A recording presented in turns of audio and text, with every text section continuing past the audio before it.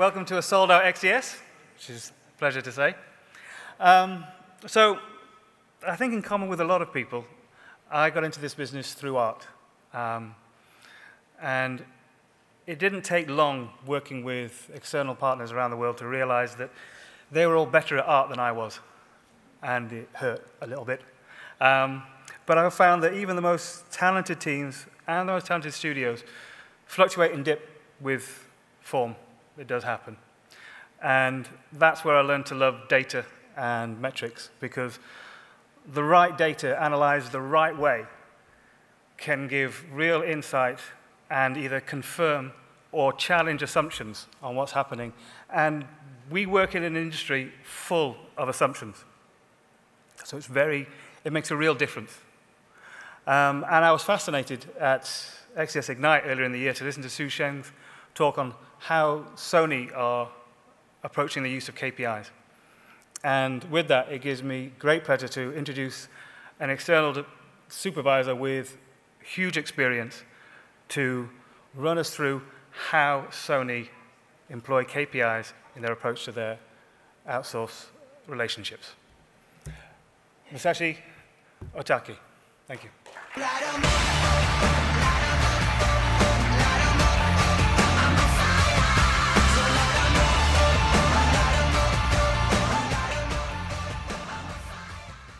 Hello, everyone. Um, thank you for joining to this presentation. I am Masashi Otake. Um, first, I'd like to briefly introduce myself and the uh, Sony group I work for. I work at Visual Arts Service Group. In short, we call it VASG. Uh, that belongs to Sony Interactive Entertainment, and we provide game development services to Sony's worldwide studios. Those services include motion capture, 3D scan, art, and animation. You can find our names in many AAA titles published by Sony, um, only if you ever pay attention to their credit. But I know everybody don't pay attention unless your name is in there. But, but we are there and contributing to many great games. Outsourcing is one of VASG's services, and we have been helping many titles including annually released MLB series, and those announced at this year's E3, such as Days Gone and Spider-Man. We do have our own artists at VSG, and we outsource large volume of work to overseas by leveraging the internal art team. Um, my job is to supervise the outsourcing to maintain the art quality and the cost efficiency as working closely with producers, project managers, art directors, and artists at worldwide studios, as well as those people at the outsource partners overseas. I position myself between dev teams and OS vendors to make sure the production are going smoothly on both sides. So this presentation includes include the uh, both perspe perspective of myself being service provider as well as being a service buyer. And hopefully it benefits everybody here today. The high-level idea of the today's topic was presented at XDS Ignite early this year by my boss, Su Chen Wu. Um, he's VSG's manager of service and external development. Today, I'd like to share a bit more in-depth information on this topic about how we utilize the KPIs in our outsource managing. To begin with, I want you to take a look at these pictures. We all know that the, it's quite challenging to quickly train all of the artists to be super good while we do our best and keep training the artists, I started paying attention to the simple and repeated mistakes that do not require high artistic skill at all, and those are absolutely avoidable. Um, such as these you can see here. Like a, uh, there's a holes in the polygon, and uh, um, the mesh is not following the proxy model provided, and simply very dirty polygons. Um, these simple mistakes are not project specific and very common in game art productions, so, so we call it generic issues. Let's see some more ex example of generic issues. how long it's been since the normal map was first introduced, um, why making every single boards, tiny boards in the, in, in the geometry instead of baking that in normal map? Um, why texture density is not consistent matching to the required value, it's just simply not unwrapping the UV properly. By not using the check tool we provided, um, why not following the instructions in the document provided, which, by the way, we spent time to make it very clear to the uh, artist. I think we all agree these are very generic issues and not subjective about it. Now, let's take a look at one chart. This chart is made based on one OS package we sent out the orange part is initially quoted cost to complete this OS package. By the way, I'm not allowed to share any dollar amount here, so I will just use the percentage here. I'm not quite sure how much profit margin each vendor is targeting, but let's say the profit margin is 10% here. Also, let's say the vendor adds 15% of buffer for potential revision cost. So this is the breakdown of the initial quote. After three months later, when this package was completed, our, stat, our stats was showing this. The red part is the estimated cost to fix the generic issues, those simple mistakes. And the blue part is the estimated cost to fix what we call subjective issue. I will explain about subjective issues later, um, so let's put the cost of subjective issues aside for now because we have much bigger loss caused by generic issues here. To me, this is not ignorable amount of cost being used to fix simple mistakes the generic issues are not only eating up the revision budget, but also eating all of the profit. What do you think? I'd like to ask vendors owners here, are you aware of how much generic issues your team is making and reducing your profit? If you want to maximize the profit, you must make sure your team make the generic issues as less as possible. Also, I'd like to ask service buyers here, are you aware of how much are you paying for those generic issues? Particularly when the external cost overruns, can you really afford to pay for the cost for those simple mistakes? I think we must do something about it. Eliminating generic issues is very difficult because it takes change individual artist mindset but it is easier than training artists to be creative and highly artistic. In this presentation, I'd like to share with you how my team tracks and analyzes the KPI to send a strong message to the art team to maximize the speed of eliminating the generic issues and manage the cost overrun. So first, quickly, this is the definition of KPI in the dictionary. And now, why do we use KPI? Um, KPI is common, commonly identified by SMART. With the objective data, we do not have to rely on the memory that contains lots of subjective feelings.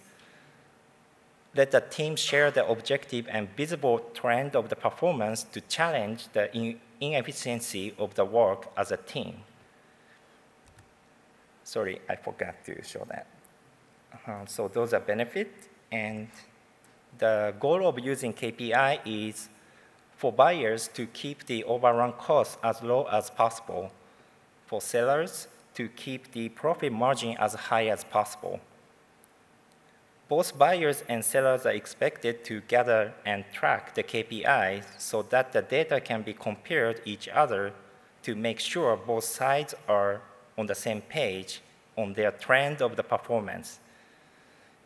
If the trend of performance shows the gap between the sellers and buyers, there must be something there must be some large misunderstanding on the requirements or the scope itself between the teams.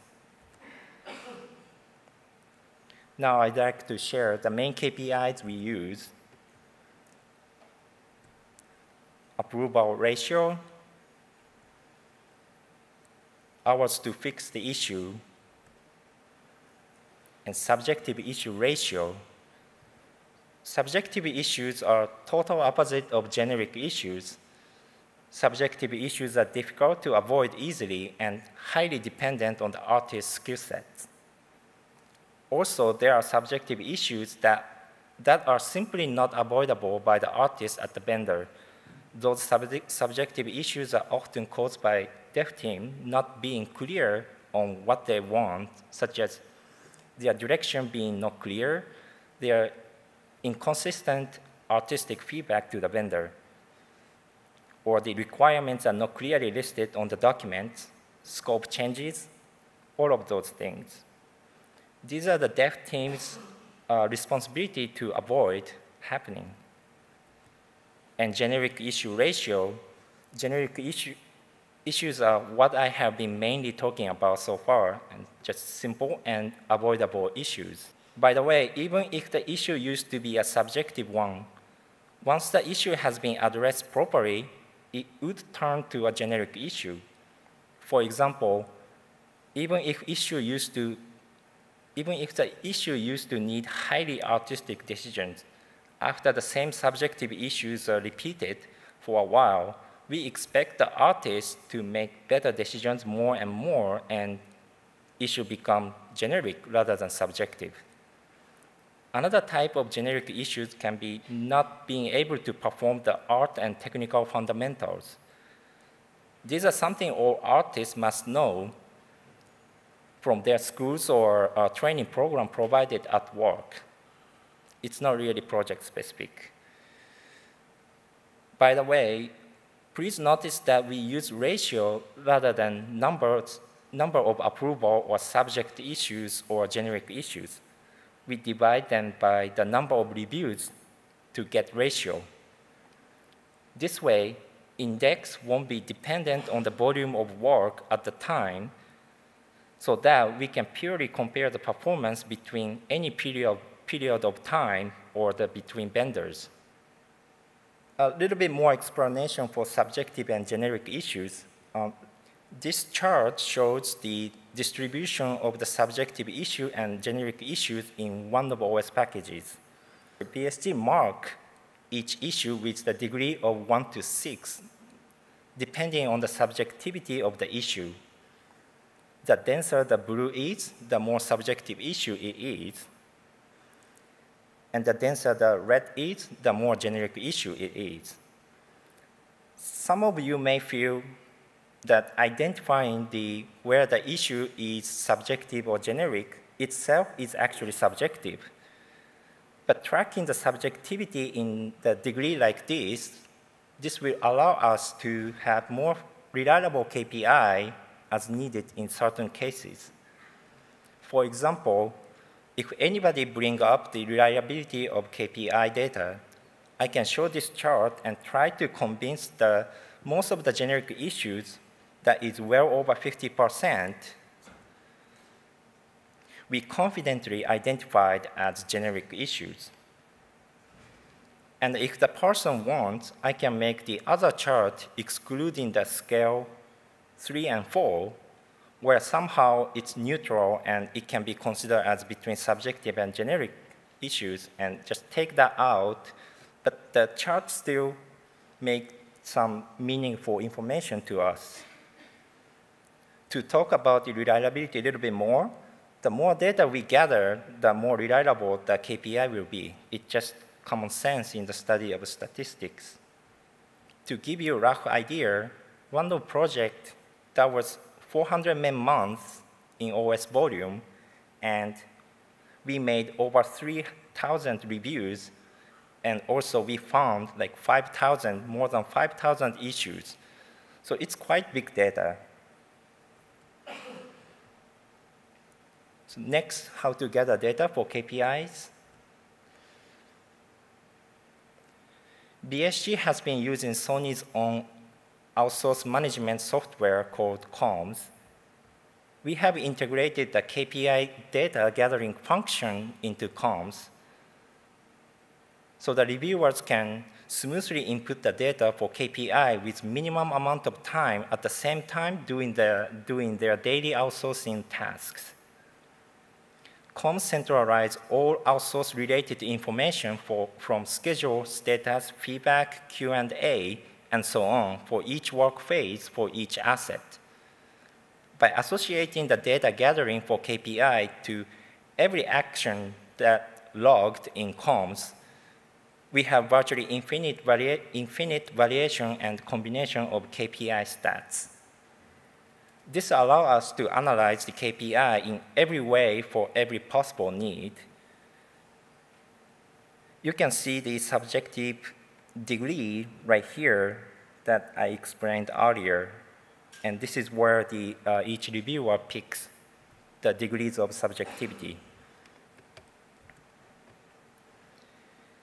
Without system like COMS, there would be some limitations, but KPI data can be still gathered by asking reviewers to submit a report with a simple table to the project manager daily. Then PM gather those data and create a database manually to generate KPI stats. VSG was gathering data with this manual way for a while, but once we found the KPI is very useful, we have integrated it into COMS. Either way, gathering data will not take too much time of your reviewers or QC team and PM once it's set. Now let's see some more KPI charts. This chart compares the four vendors throughout the long-run project. We can see some significant differences between vendors some vendors take it seriously to reduce the generic issues, while others may not. Next chart, the, this chart compares the performance of two vendors throughout the length of the project. It's about two and a half years length. Both vendors shows the preferred trend of decreasing issues over the time It's going down like this. So it's very good trend both vendors shows. The interesting is that both vendors shows the spikes of the issue at the very similar timing, like here and here and here and there. Let's look into it more. So in this chart, I merged two vendors' performance together and I'm going to overlay the final approval rate by dev team on top of this. We can see that approval ratio goes up right here when vendors start decreasing the number of issues.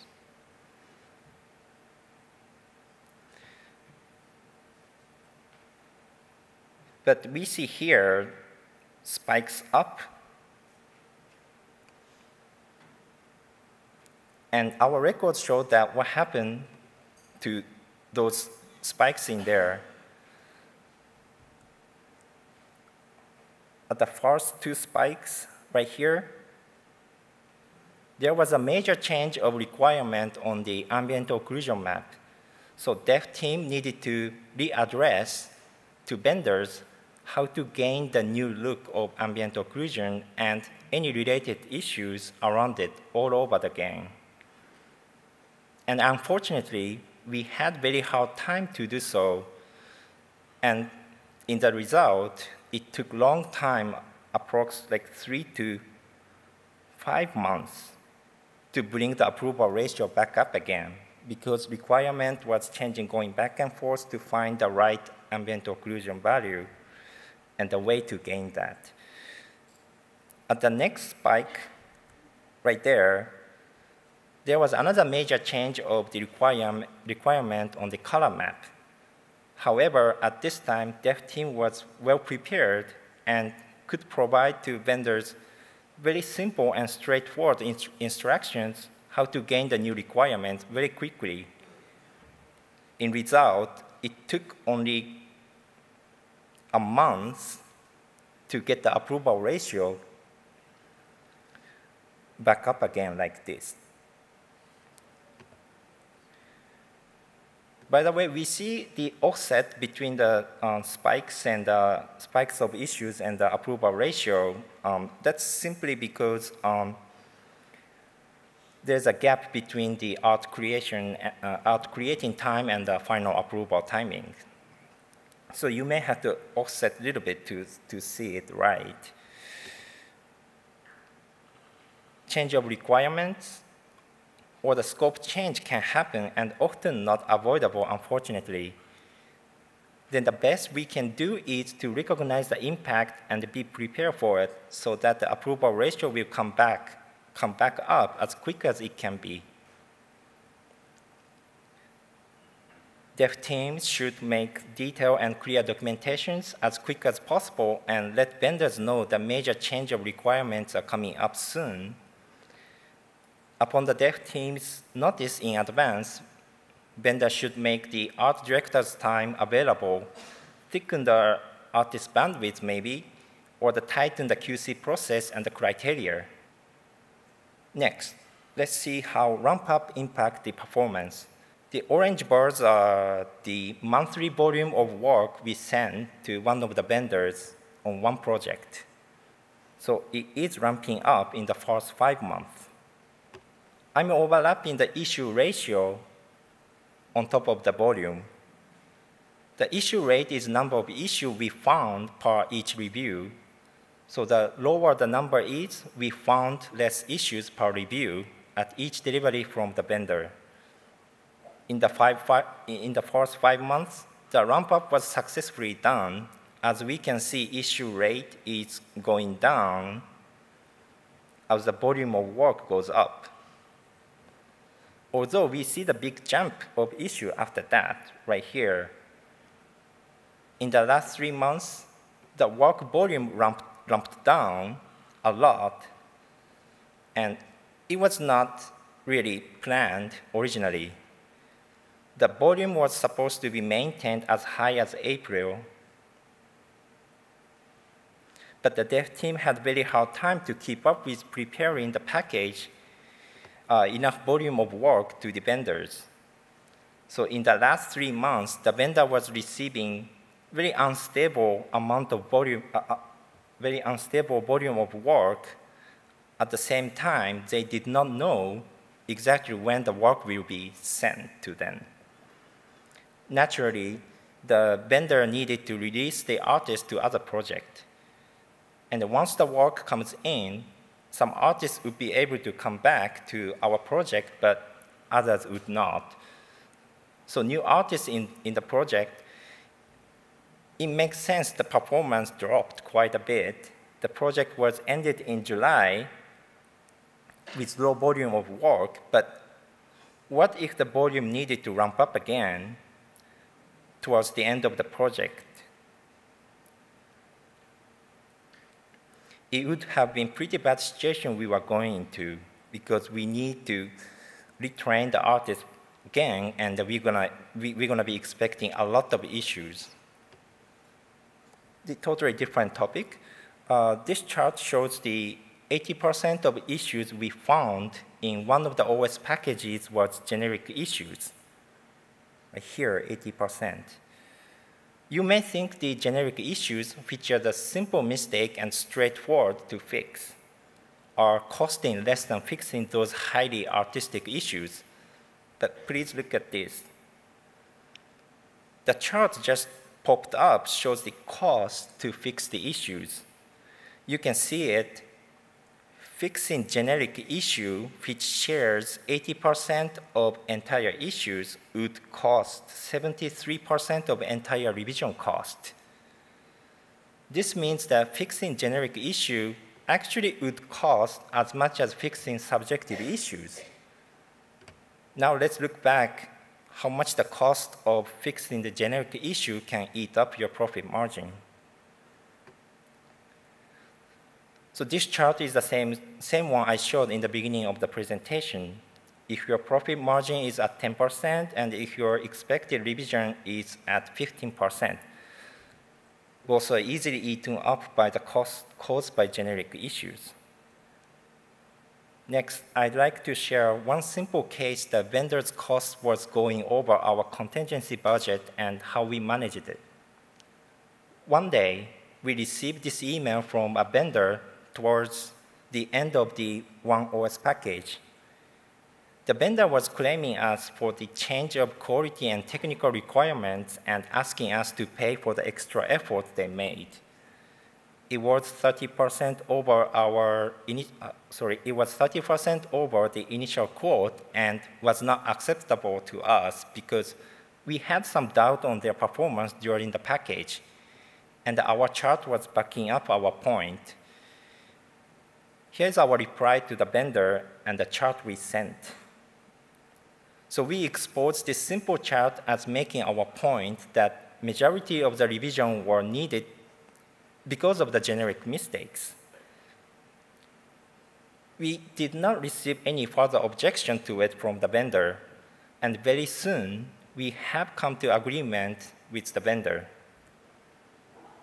So we have agreed to pay 10 man-days instead of what they have requested, 40 man-days. Although there were some subjective issues that were highly artistic in this package, we believe we did not require anything more than we have specified in the document and the quality sample we sent to them. Despite of VSG is right or vendor is right, um, the chart shows that's not really the point. The point is that there have been a lot of generic issues and that is eating the vendor's profit more than anything the generic issue and the vendor's performance not only affect the vendor's profit margin, but also affect the dev team's internal cost. I'm sure we all have work phases and set review points for each asset. VSG always makes sure that each package or batch have the same group of assets that have identical work phases. This way, it's much easier to track and manage the tons of assets at once per package or the batch. For example, in this way, the certain work phase can be eliminated at once and skip the review for the phase as soon as vendors start performing well for the particular uh, work phase. Because every single review at each phase costs to the reviewers.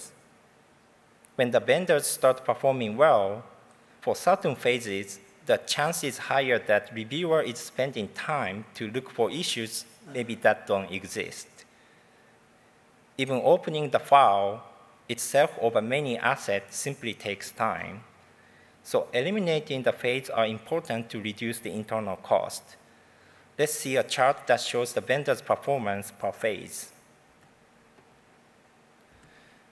This chart, this chart shows the uh, one vendor's performance biweekly in the first one and a half months of the project we had three common phases, modeling phase, UV phase, and the final texture phase in this order from the left.